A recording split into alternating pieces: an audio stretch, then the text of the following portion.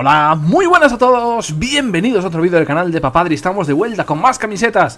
Que ya me estás ahí pidiendo más, más y más y más y más y más Reviews de camisetas, echando un vistazo a las camisetas nuevas de los equipos. Tenemos unas cuantas novedades que todavía no hemos visto en el canal Y que pues pasaré a continuación. También de equipos eh, de otros países, también de equipos de segunda división. Tengo alguno por ahí, pero bueno Vamos al lío, vamos a aprovechar el tiempo, ya sabéis que estos vídeos eh, si no se alargan muchísimo y es un coñazo, así que vamos directamente a ver las últimas novedades camiseteras de los equipos de fútbol para esta temporada. Comenzamos con un recién ascendido a la Liga 1-2-3, un clásico de nuestro fútbol como es el Albacete, ahí lo tenéis otro año más con Hummel, con la marca danesa eh, que realmente ha innovado poquito en esta equipación del Albacete, como veis la camiseta blanca tradicional, con detalles en negro, el cuello acabado tipo V con ese detalle en negro, una franja negra en los hombros, pero eh, que no tiene chevrones, solo tiene un par de chevrones en la parte más eh, cercana del cuello. Los chevrones, son esas, eh, los diapasones, ese logo de Hummel característico, sí que se ve en el pantalón, en el pantalón sí que se ve una gran cantidad de, del logo, y sin embargo la camiseta de los hombros no. Y eh, cabe destacar la segunda equipación que es eh, rosa, eh, viene por, bueno, por el tema del cáncer de mama y demás, pero que a mí me recuerda muchísimo a la segunda equipación del Alavés de la temporada pasada, con la única diferencia del cuello, que el Alavés tenía el cuello en solapa y esta en este caso sigue con el cuello en V. Vamos con otro recién ascendido, la Cultural Leonesa, que después de muchos años en Segunda B milita esta temporada en la Liga 1-2-3, también con Hummel, con la marca danesa, y su template de la primera equipación, que es blanca, igual que la de del Albacete, pues es exactamente igual, con la única diferencia que el color secundario en Albacete era negro, y aquí el color secundario es rojo. Es el mismo diseño, igual con los mismos detalles en el cuello, los chevrones en el pantalón y eh, en menor medida en la franja de los hombros es exactamente igual. La tercera equipación es exactamente igual con la diferencia del cuello en este caso también es rosa, igual que la segunda equipación del Albacete, pero la diferencia la vemos en la segunda, que creo que es la segunda, eh, que es la que está a la izquierda de la camiseta blanca, que es azul, con detalles en un azul más claro. Las que vemos en las esquinas son las equipaciones de los porteros.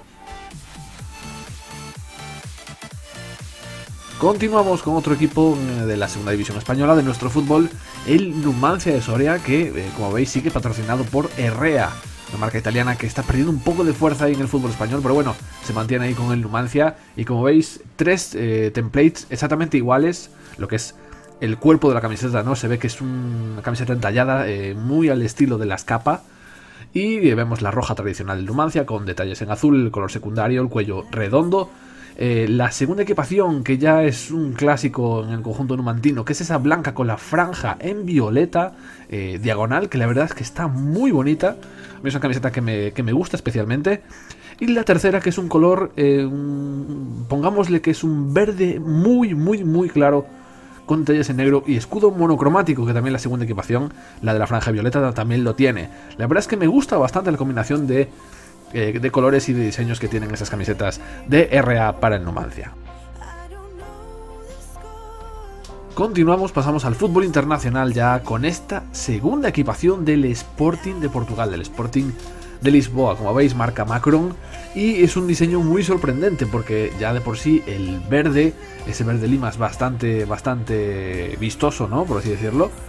Y eh, lo que es el, la parte principal de la camiseta está en negro, pero vemos el escudo monocromático, está claro, el, el cuello retro con botones y demás pero eh, la salsa de la camiseta son, primero, debajo del escudo el lema del Sporting de Portugal en braille, en braille como queráis llamar, el lenguaje que utilizan los ciegos, está en relieve. Y esas franjas que veis horizontales, que son de diferentes grosores y demás, es código Morse.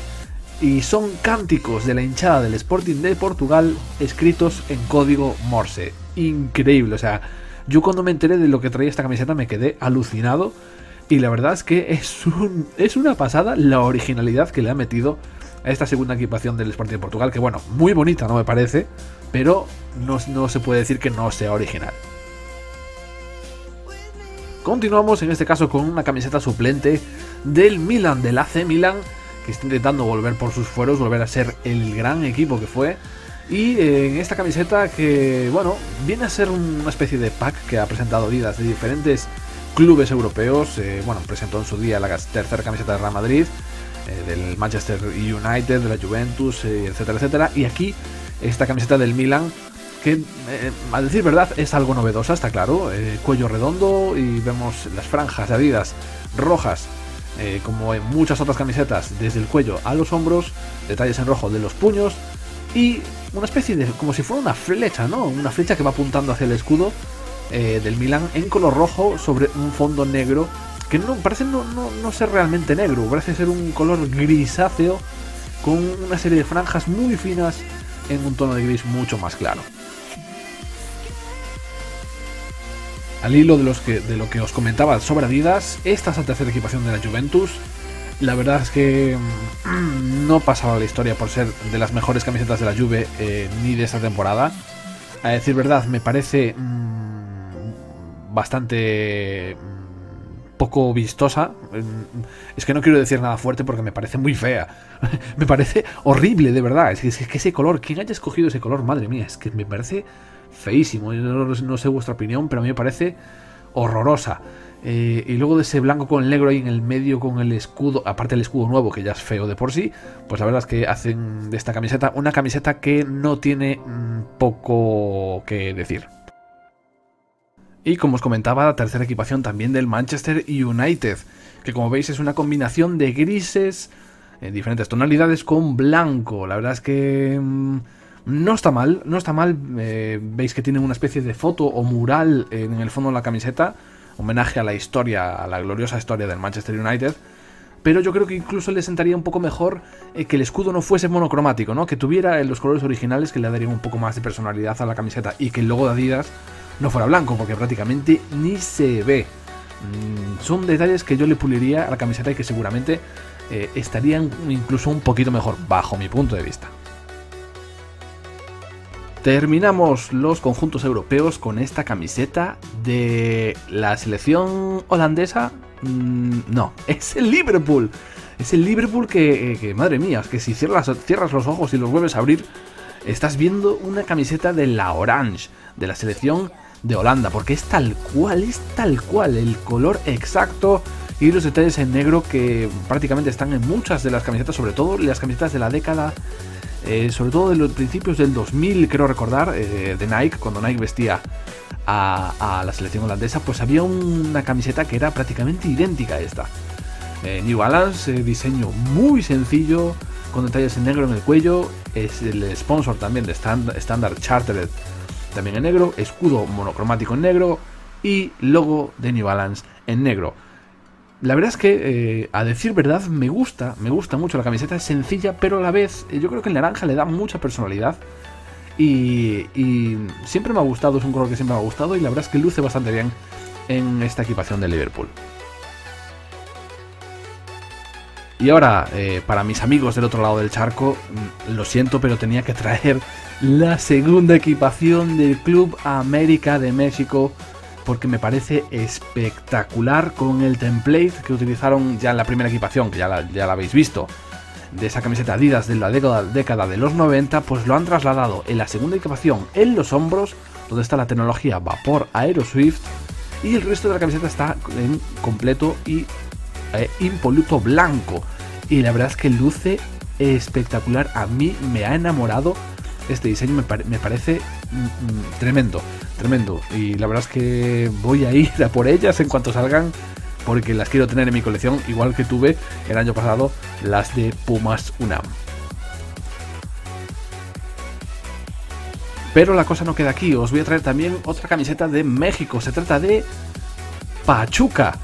Eh, esta camiseta también de Nike, con la tecnología Vapor Aeroswift, aunque no se vea demasiado porque las mangas están completo blanco, con las franjas tradicionales de Pachuca en blanco y en azul, pero con ese degradado que empieza de más oscuro en la parte de arriba del cuello y que eh, va clareando con esas franjas en diagonal dentro de las rayas. Eh, está, está, bastante curiosa, eh, lo que pasa es que algo, algo que quiero reseñar es cómo están de sobrecargadas las camisetas de los conjuntos mexicanos en general. Tienen muchos sponsors y yo creo que deberían delimitar eso porque lucirían mucho, mucho más bonitas y, bueno, mucho más vistosas las camisetas. Pero bueno, os dejo el ejemplo, por ejemplo, de aquí de Pachuca, donde veis que como están demasiado pegados los sponsors unos encima de otros y no acaba de quedar del todo bien.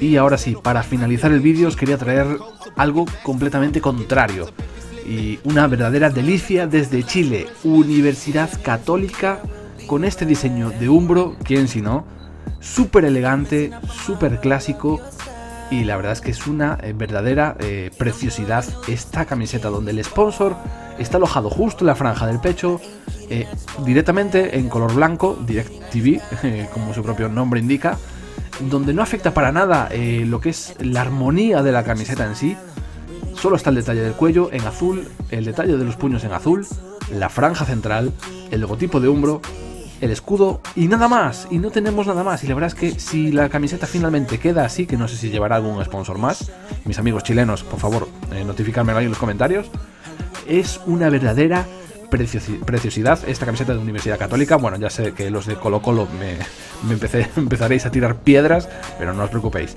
que también sacaré de, más eh, equipos chilenos aquí en nuestros vídeos. Bueno chicos, hasta aquí el resumen camisetero de hoy. Tengo más camisetas que enseñaros, ya tengo algunas bastante especiales para mostraros. Si queréis ver más, si queréis que la, que la serie continúe, ya sabéis lo que tenéis que hacer. Tenéis que dejar vuestro like, como estáis haciendo, que es una pasada. Eh, las visualizaciones, los comentarios, los likes que estás dejando, porque eh, me enorgullece y me encanta que, os gusten estos vídeos, como a mí. Entonces ya sabéis, lo que os decía, like, por favor, comentarlo a ver qué os, os ha parecido. Yo leo todos vuestros comentarios y me parecen muy importantes. Suscribiros al canal para que sigamos creciendo y seguir subiendo más cositas interesantes. Y nos vemos en siguientes vídeos. ¡Hasta luego!